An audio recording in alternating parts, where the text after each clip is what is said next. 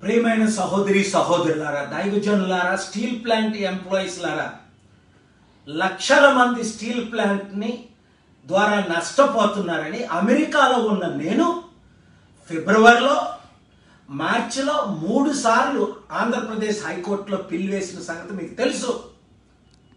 ఇంతవరకు నిన్న మా చైర్మన్ గారు మాట్లాడితే doctor Samuel Reddy garu steel plant leader సా- సింహాచలం అట ఆదినారాయణ అట వీళ్ళందరూ మాట్లాడితే పాలుగారు హంగర్ స్ట్రైక్ చేస్తున్నారని చెప్తే పట్టించుకోకుండా మాకు విజయసాయి రెడ్డి ఉన్నాడండి.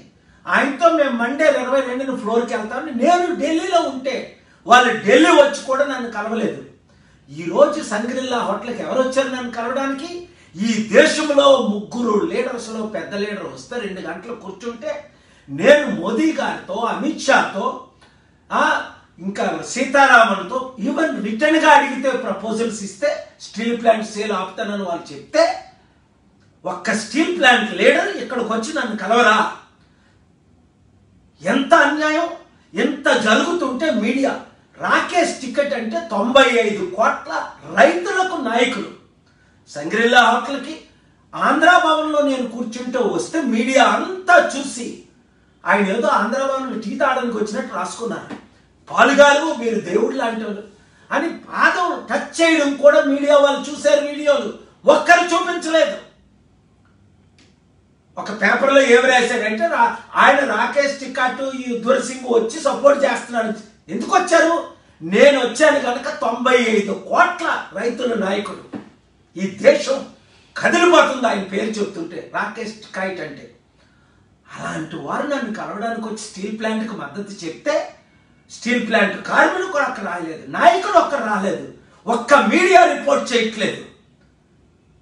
లీడర్స్ రండి రండి ఇండియా అన్నారు. అమెరికా వదిలిసి వచ్చేసాను రెండు వారాలు అయింది. ఒక్క లీడర్ వచ్చి కలిసాడా అందరూ అమ్ముడిపోయారు. రాజకీయ నాయకులు అమ్ముడిపోయారు. బీజేపీతో యుద్ధం చేయడానికి నార్త్ ఇండియాలో మీడియాలో ఎలాంటి స్టోరీలు వచ్చాయో చూడండి.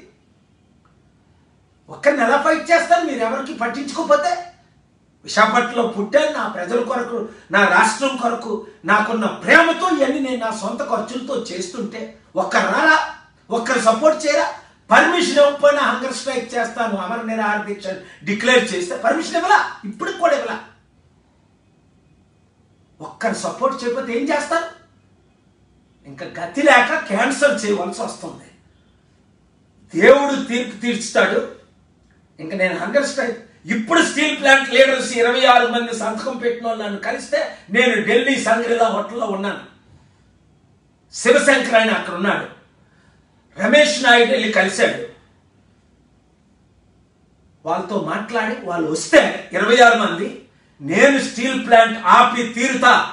పాలిగారు ఇప్పుడున్న రాజకీయ నాయకులు అమ్ముడుపోయారు. వాళ్ళ ద్వారా ఇది జరగదు. కేవలం మీ ద్వారా ఇది జరుగుతుంది అని వారు వచ్చి నన్ను కలవమనండి. ఒక ఎమ్మెల్యే రిజైన్ చేస్తే అవుతుందా?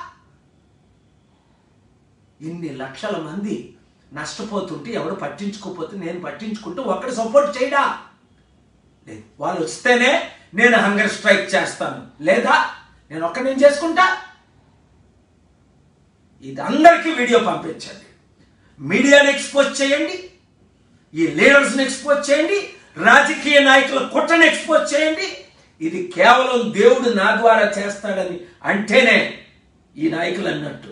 నేను అమర నిరాహార చేసి స్టీల్ ప్లాంట్ని ఆపుతాను. నేను ఆపలేకపోతే ఎవడు ఆపలేడు? అయిపోయింది. అందరూ అమ్ముడిపోయారు థ్యాంక్ యూ వెరీ మచ్